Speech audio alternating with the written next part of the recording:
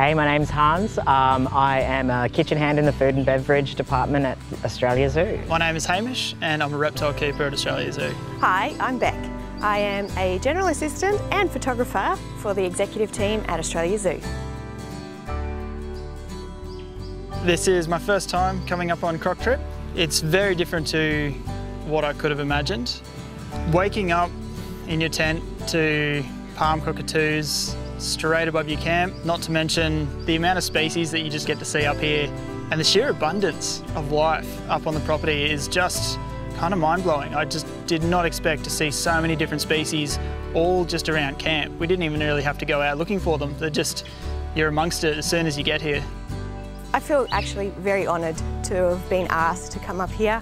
Well, I hadn't actually heard a lot about Croc Trip before coming up. Um, I heard that, you know, you're camping and it really just sort of like blew any expectations I had out of the water. Um, it's been absolutely amazing.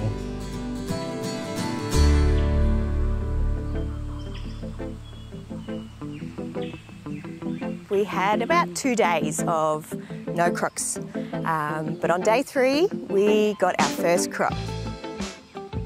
So it was basically my first croc I'd seen in the wild before. She was absolutely gorgeous. So I was very honoured when Terri suggested uh, we name this beautiful new crocodile Bek.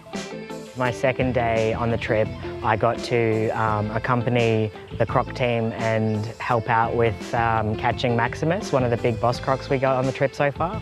Working with the team up here has been a really incredible opportunity. Some of these guys have been doing this for 10 to 20 years um, and there's a huge amount of experience and knowledge within the team up here. So working with captive crocodiles is incredibly interesting and a lot of fun.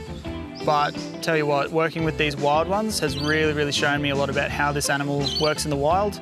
And as far as the team goes, I don't think I could ask for a more supportive group of people to work with.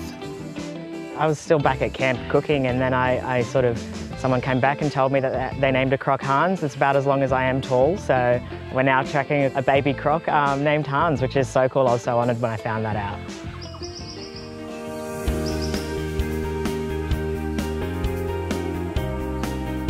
So my favourite place on the reserve, I reckon, is called Red Canyon. It is absolutely stunning. In the morning, it is so beautiful down there. Um, most mornings have been, you know, beautiful blue skies and then just the reflection. It's just a mirror image.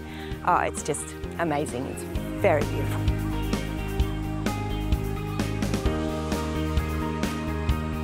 So one of our afternoons off, uh, we were lucky to go out to a site called Blue Bottle and it's this incredible freshwater spring where the water just comes straight up out of the ground and the abundance of life in that little spot is incredible.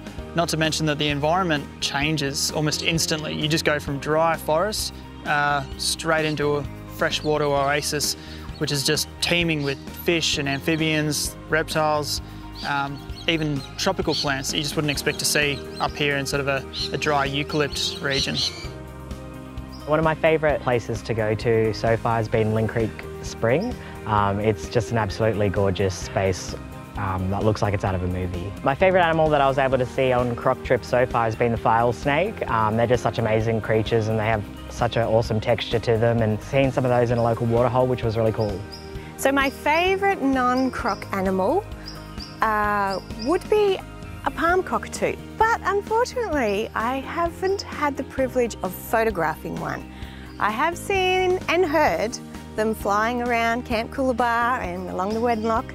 Uh, but yeah, unfortunately, I haven't been able to photograph one yet, which I've still got a couple of days to go.